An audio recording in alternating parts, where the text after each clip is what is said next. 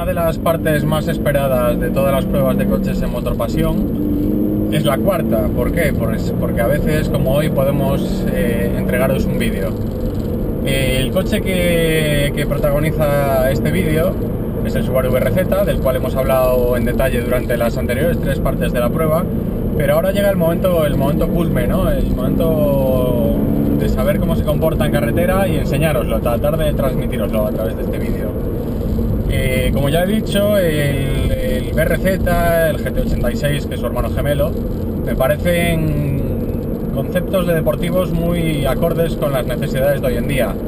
Eh, pesa solo 1.277 kilos y su precio baja de 30.000 euros, lo cual lo convierte en uno de los deportivos más, más asequibles del mercado.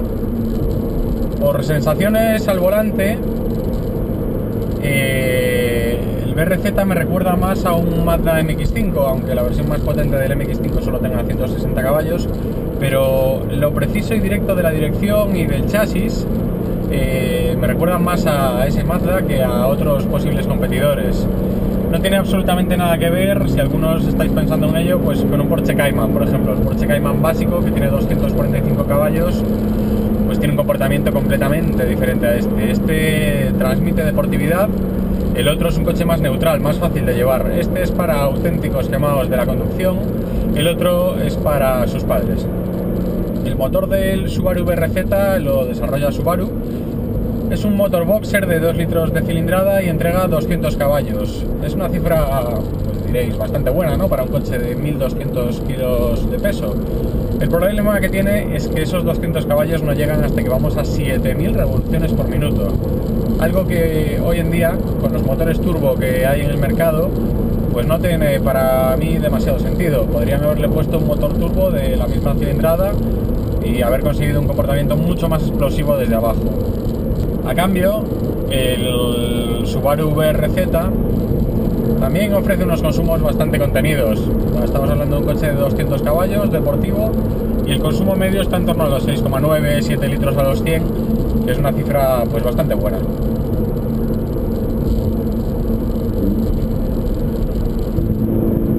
A alta velocidad en curvas, me ha sorprendido la estabilidad que tiene el BRZ. Permite entrar suficientemente rápido y no tener ningún tipo de movimiento de estos que te ponen nervioso, ¿no? Cuando, cuando estás dentro de una curva apoyando, pues el coche se mantiene tabla, se mantiene como sobre raíles. Eso, pues la verdad que quiere decir que el conjunto está muy, muy bien puesto a punto.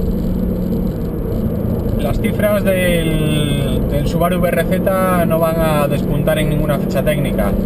Hablamos de una aceleración de 0 a 100 en la versión manual que estamos probando en 7,6 segundos y una velocidad máxima de 230 km por hora.